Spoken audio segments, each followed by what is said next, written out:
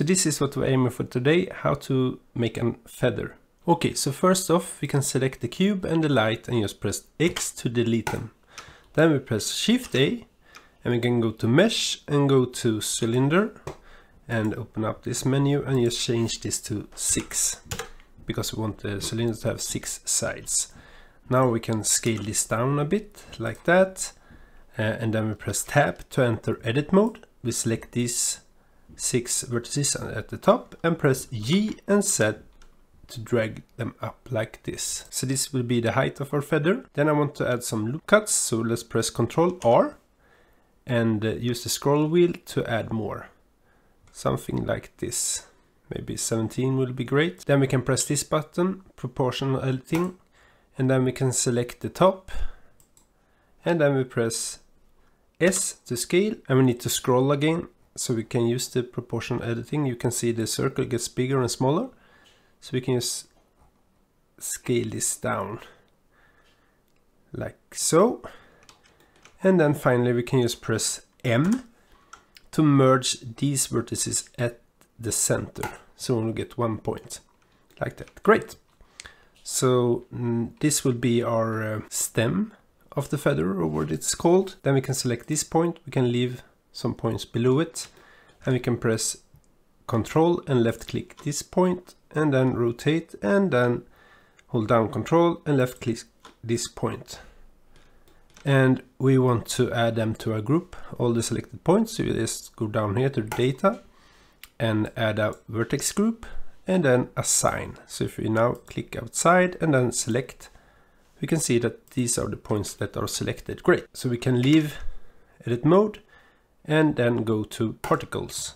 Let's add a particle system and set it to hair. And we can see it's all over the place and we don't want that. So let's activate that group that we made. So let's go down to vertex group and here in, at density let's choose the group we made before. And as you can see only the faces near the vertices are affected. In some tutorials you will see they will go into source and only emit from vertices. And you can see them here and it only follows the lines and that's one way to do it but I don't like that one so let's just stick to faces for now. And before we start trimming and shaping this feather we need to decide how many hairs it will be made up of and this probably will be decided what you're aiming to use your feather for. But for me, I just want to have a nice feather. So I can go with a really high number here. I will use 1000, but I will add some more segments, 10. And I think the length of the feather is a bit big, so let's set it down to 3. And right now I realize that we have not applied the scale, so let's press Ctrl A and apply rotation and scale. And now we can start shaping the feather. So let's look upon it from front and then we can go up here. So instead of object mode, we can just choose particle edit. And I want to comb this one. So we can go down and here you can choose the radius of the brush or and the strength. I will go with a bit more strength and then the radius will be fine. And now I just start to comb this one and try to shape the feather. I'm trying to find a shape that I like. And maybe down here I want to have some kind of shorter brushes. So let's use the cut. Cut them like so. Great. And up here I think it's too long so let's just cut them also. And go back to the brush and just try to fix the tip. Uh, and what we also can do is actually some feathers are missing stuff so we can set the radius to really low maybe two and just cut some in here and then we brush it a little bit more. Like so. Great. And if we now look upon the feather from the other side we can see that it's really wide. So we need to shape it like this. And this is why I don't want it only to come from the vertices because I want to have some thickness to it. So you can brush it a little bit like so. And and if you go back to object and uh, we can just press control tab and we get a menu and we just go to object mode like this. And if we now look upon it, and you can see it's a little bit wide here, we can actually go to viewport shading. And so we need to fix this. So let's just press Control Tab, go back to particle editing. And if we now look upon it from the top, we can see, okay, it's wide. So one way to solve this is just to uh, change the selection mode. Press this button and we can select all, whoops, and we go uh, over here, select the box, select all of these and then press S for scale in X and just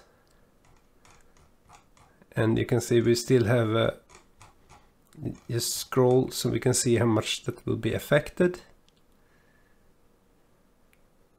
and you will see the size of your um, proportion editing uh, area up here. So if you now select these and I press scale and uh, if I scroll you can see the size of the editing tool up there. And we want to scroll uh, we want to scale it in X. Like so great and just press control tab and back to object mode. Okay so it's starting to look like something. I don't like this top so we just need to come it a little more. Oops. I don't want to use that anymore and I want to go back to this selection mode. And just try to shape it to your liking. Great! And if we now go back to object mode, we have our feather, but we still need to fix some stuff. So if we now scroll down, still particle menu, we go down to children, and we just go with simple. You can see it's much more uh, dense and we can choose the display amount 10 and maybe the render amount 10 as well. Like so. Great and now we just need to set these um, settings to our liking. But I used to start out with the radius and make this maybe down to 0.05 and this is the radius of the children around the straw. So uh, maybe a bit bigger 0.1 yeah. And then uh, I go down to clumping. And I want to be a bit clumping and if you now go with shape you can see how it's filling up from inside so this is nice in the last steps we just take this one shade auto smooth and just add an uh, subdivision surface like so. And now we also want to add some materials to this one. And for this shaft, just let's just give it some kind of color. I want the feather maybe to be blue. So let's just give the shaft a bluish color. Let's call it shaft. And then now for the feather, let's go to the shading mode. And let's make another material. Let's call this feather and then we can press Ctrl T because I have the Node Wrangler add-on installed. So let's just go to Edit, Preferences, Add-on and activate the Node Wrangler. Uh, and we can delete the image texture and let's just add a color ramp. We can just make this quick and dirty because I think it will look fine anyway. And take the vector to the vector and let's uh, take this generated down to the vector and right now you can see it's just black and white. We don't want that, so let's just choose some kind of blue color like that. And for this one, maybe we can take it pinkish, like so. And I want it to be a little more shiny. You can see here. Yeah, I think it's starting to look cool. And in the last phase, we want to drag down the alpha. So maybe down to 0.7. Now if you just go back to the layout and we just press Ctrl Alt 0 to zoom in the camera. We select the camera, press J, Z, Z, zoom out like so. And uh, go back here to, to the world and for the color let's just add an environment texture and let's just add an um, HDRI image. You can find them uh, for free in the description. And if you now go to render, go up to the camera and go to the film and set it to transparent. If we first just try to render it, looks kind of okay.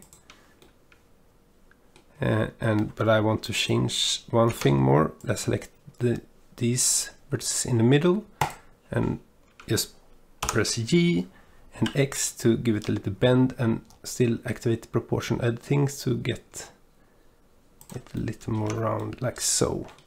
And right now we can see that the um, shaft is also wrong so we need to change the material shaft let's select go to edit mode press A to select all of the vertices and then assign and now if we go to uh, the render again if you just try it out I think it looks kind of okay but this will look even better if we go with cycles. So let's just change to cycles. And now let's turn down the max samples to maybe just 150 and if I want another feather let's just select this one and press shift D. And then Y drag it over like so. And go to shading.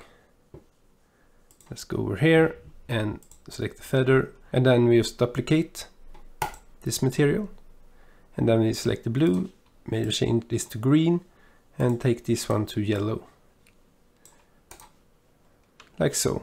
And we can select the shaft and change this color to whoops we forgot to copy. Let's do that first like so. Copy the material and then change it to yellow.